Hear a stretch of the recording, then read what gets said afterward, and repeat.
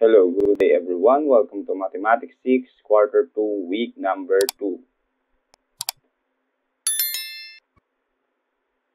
So we are now in Quarter 3, Week number 2 of our most essential learning competencies.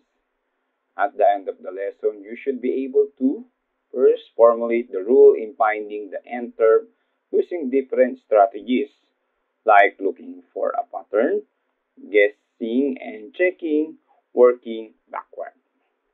Now, lesson number two, finding the n term in the sequence. So let's have some activity first to further analyze the topic. Find the next two term, or find the next two figure or term in the set of sequence. You have 15 seconds to answer each of the following question. Question number one. Your 15 seconds timer starts now.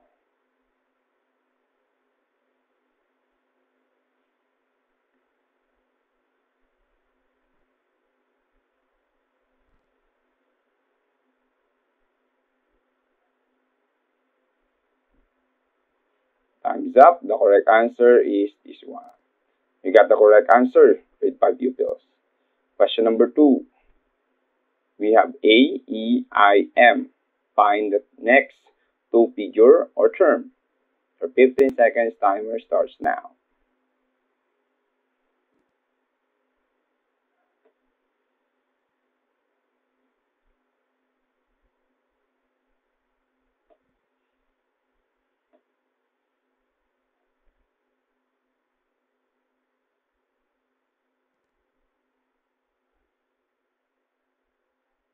If your answer is Q and U, you get the correct answer, grade 6 pupils.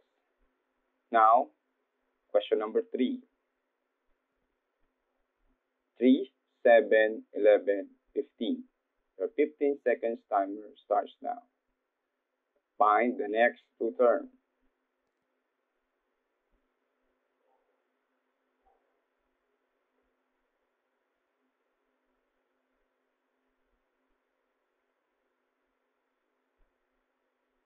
Time is up. The correct answer is 19 and 23.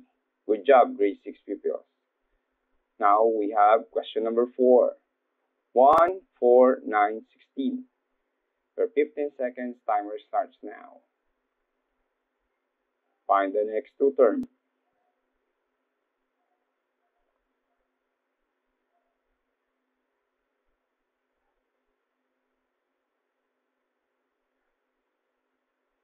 Time's up.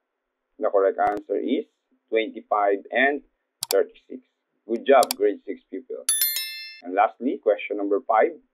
Find the next two term in this sequence. We have 2, 4, 8, 16. Timer starts now. You may comment down your answer in the comment section below.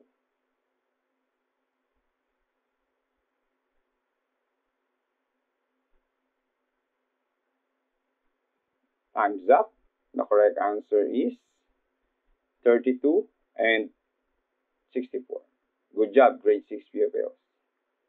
Now, let's proceed to our discussion for today. So, sequence. Sequence is a set of numbers written in a special order by application of definite rule. Let's have some example. Find the next two terms in this sequence. We have 3, 7, 11, and 15. Let's find the next two terms in this sequence. So this would be the pattern. If we move, if, if we subtract 7 minus 3, the answer is 4. 11 minus 7, the answer is 4. 15 minus 11, the answer is 4. So as you can see, they have the common difference. Now, let's have take a look at this one. 3 is equal to 3, right? Then 7 is equal to 3 plus 4. The answer is 7. Okay? 3 plus 4 plus 4. The answer is 11. Then 3 plus 4 plus 4 plus 4. The answer is 15. As you can see, the n term or the first term if I multiply it by 0, 4 times 0, the answer is 1. Added by 3, the answer is 3. Then, if I multiply the common difference by 1, therefore, the answer is 4. And then added to 3, the answer is 7. And if I multiply 4 times 2, the answer is 8. The, plus 3, the answer is 11. And then if I multiply 4 times 3, the fourth term is equivalent to 15. 4 times 3 plus 3, the answer is 15. Now, therefore, the 19th term is equivalent to the fourth term, a fifth term rather, is equivalent to 19 and 23. So, the other way to solve this one is 4 minus 1, example number 2, other.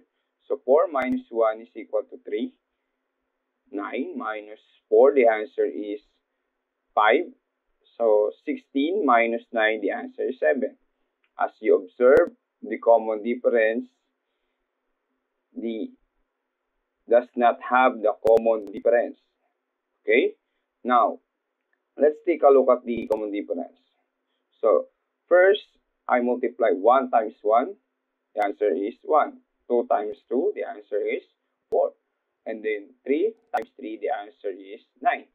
And then 4 times 4, the answer is 16. So first term multiplied by itself, the answer is 1.